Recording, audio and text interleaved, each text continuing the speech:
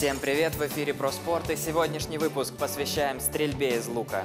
Стрельба из лука имеет богатейшую историю и активно развивается. С 1900 года этот вид спорта является олимпийским. Но какова же история лука в Белгороде? Стрельба из лука в Белгородской области зародилась еще в 2009 году. Мастерство стало расти, стали интересоваться действительно спортом уже. То есть, а использовали стрельбу эту как прикладную дисциплину, просто стреляли ради интереса. В 2014 году нам удалось открыть э, отделение с дюшор по стрельбе из лука. Именно олимпийская дисциплина, та, которую стреляют на Олимпиаде. Есть определенные успехи. На сегодняшний день имеется 4 кандидата мастера спорта, дети до 15 лет. В перспективе э, эта малышня через 4 года вполне даже по силам побороться за, за место в сборной России и, может быть, даже поедут на Олимпийские игры. Нам очень здорово повезло. В Белгород приехали два тренера старой советской закалки. Это Рогова Ольга Владимировна и Иваненко Анатолий Петрович. Это, можно сказать, мастера мирового уровня, тренеры. На первый взгляд все кажется довольно простым. Берешь лук, стрелу, натягиваешь тетиву и стреляешь в мишень. Но на деле все гораздо труднее.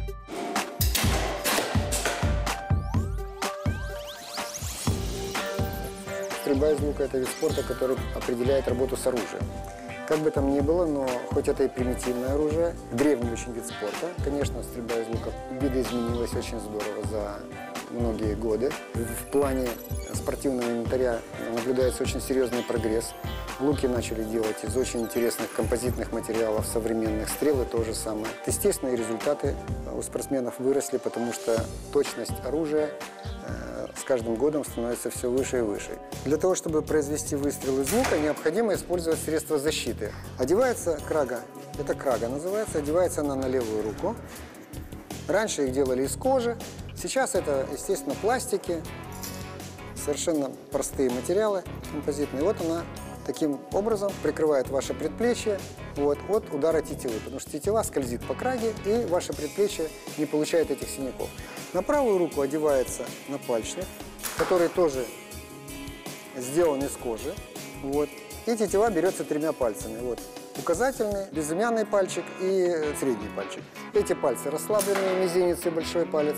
Вот. Кисть выпрямлена, расслаблена. И тетива держится на самых крайних фалангах пальцев. Таким образом растягиваете лук, тетиву растягиваете до подбородка. Тетива коснулась подбородка, касаетесь центром носа тетивы, и это ваше э, прицельное положение. Значит, берете лук в левую руку. Вот ваша стрела в правую руку, вставляете ее на полочку и в гнездышко. Тремя пальцами берете за тетиву, крайними фалангами, кисть ровная, плечо продолжение предплечья, продолжение стрелы, то есть оно должно быть в плоскости. Не отклоняйтесь, бедра ровно. Дотягиваем, выпуск, выпуск, смелее, отпускаем. Так, молодец. Попали почти в желтое смесь.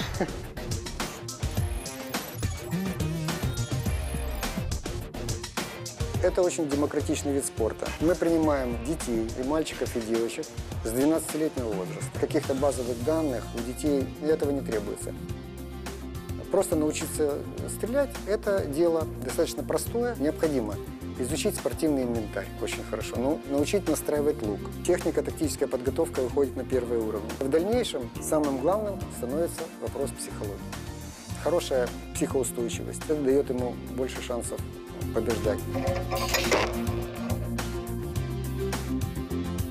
Сегодня мы говорили о стрельбе из лука, и на все сто убедились, что это настоящий, серьезный спорт. Ну а на этом у меня все. Живите спортом. Пока.